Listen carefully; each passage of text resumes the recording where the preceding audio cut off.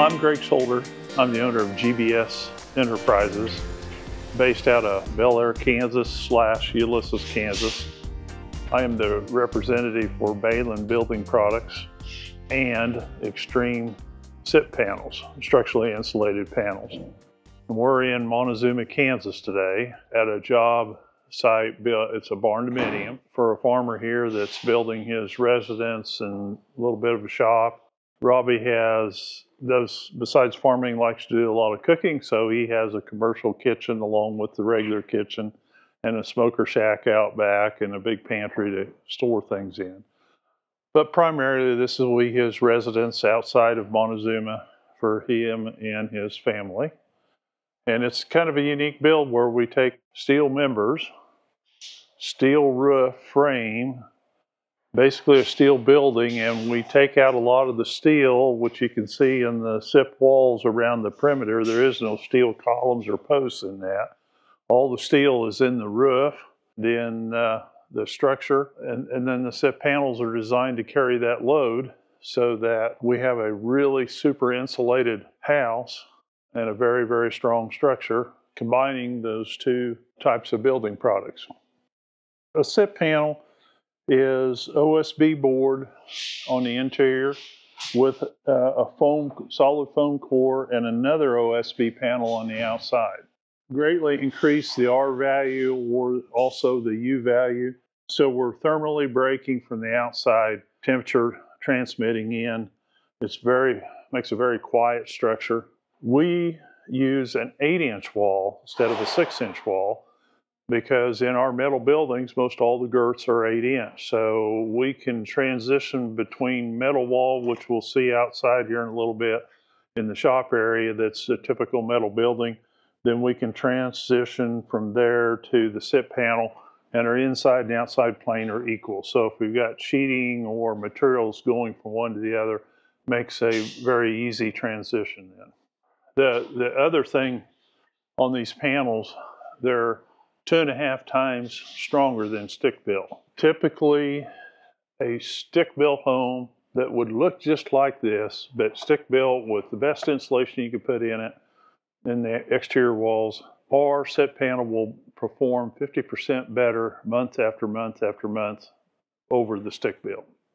The wind blows in Kansas, and one of the things we really like is a good strong wall. Uh, I actually have pictures of a home that was built in Galveston that went through a hurricane, and every other home on the barrier island was wiped off, but the SIP panel home was still standing when they were done. So uh, out where the wind blows a lot, we like a good strong structure, and I think we got it here. We stepped outside into what would be the shop area, and if you kind of zoom around the outside, you'll see what appears to be a regular steel building with wall girts. We have put what's called Simple Saver or a high R value insulation up in the, the roof. Our roof system is a 10 inch steel purlin up there so we've got that completely packed full of insulation. So we've got even higher R value than what the normal metal building would be on there. And then because this is out in the shop, we're not as concerned about that air tightness and that. And so we'll put the metal panels on the outside of the building. And then this wall will be stuffed with insulation and then another blanket put on the inside. This home is being uh, designed with if you look over there, we got floor heat system. So there's going to be radiant floor heat throughout the floor in here. This will be closed in, but that's actually the smoker shack. Upstairs, this is kind of a area we're in right now is going to be kind of a, will be a snooker table and a, a golf simulator area. That all, all the bedrooms go around. And then in the opposite corner of this upstairs is kind of an area for kids to study and relax and focus on other things than playing snooker or golf. If you look now, you can kind of see the, the metal beam here in the center supports the rafter. Those rafters then go to the SIP panels and they go right through the SIP panel wall. Inside this wall is a post from the SIP panel company that takes all the load back to the foundation. And that's on both side walls of the the roof. All the bedrooms will have sheetrock ceilings and finished down. They have decided to keep the, the black Simple Saver fabric as the finish. Then all the beams are painted black and they'll kind of keep that steel look. There actually will be a steel railing that goes around the perimeter upstairs. And then they've got a wrap around set of steel stairs, custom stairs being built that will come from in here. This is Robert Stone. He is my building rep from Behlen Industries, Behlen Manufacturing. And you've had an opportunity to walk through this structure. Hadn't seen it for a while. What do you think? Very impressive. I'm uh, noticing a lot of small stuff. They've got all the rafters up here buried in the walls. Mm-hmm. Uh, so all the clearances worked out, which Yeah. is always uh, something nice to see. Looking at the initial drawings, uh, and, it- it- you know, it just didn't seem this large. Typically, on a two story house construction, you build the lower walls, then you build your second floor, floor joist setting on the lower walls, and then you come up on top of that floor and you build the upper walls. This entire house structure, the outside eight inch SIP walls are continuous from foundation all the way to the roof line. The upstairs floor, these, these wood joists are, are actually attached to this inside of the wall. And what that does, that gives us again a better thermal barrier to the outside. We're very well insulated. Sometimes on a regular house, they insulate the walls in that cavity where the floor joists are. You don't always get that good R value. With this structure, we've got continuous thermal barrier from the floor downstairs all the way to the roof.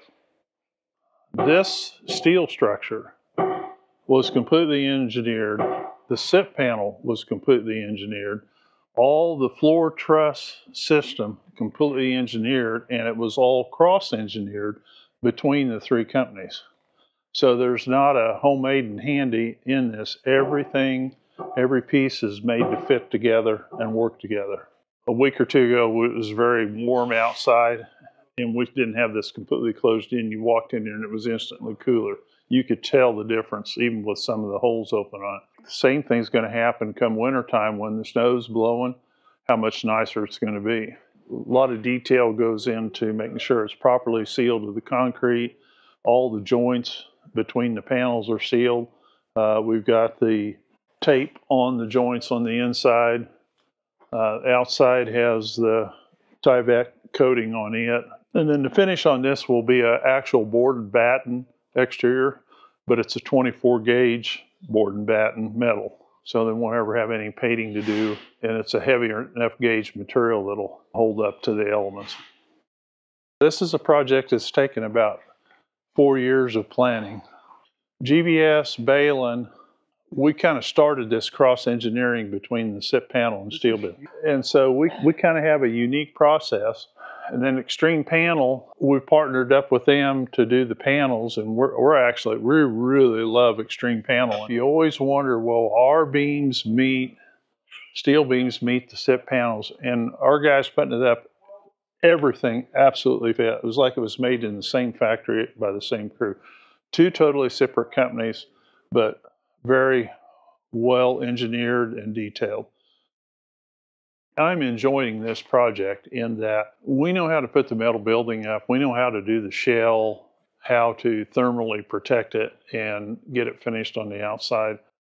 To me, what was important is having the total project be uh, worked through and done correctly. And we'll go downstairs in a minute and we'll meet Andrew Yost. He is the finish carpenter that's doing all the framing and all the finishing and that we like building these projects, but what makes it very special is to have somebody that can take what we put together and finish it and make it really into a really nice finished product on there. And Andrew Yost is the builder that's doing that. That's going to be a pretty long porch over here. the patio is a southerly exposure, so we've got that completely covered because that late day sun is, is pretty hot. We actually have an insulated panel on this end wall to mount the trusses on. So by late in the day, this patio will be fairly well shaded. We've actually put in what we call soffit purlins. So there's another set of purlins in there, and we've insulated the roof so that that hot, hot sun won't be transmitting right on through so bad. But this will all have a finished ceiling in underneath here as well as the porch and all the way around.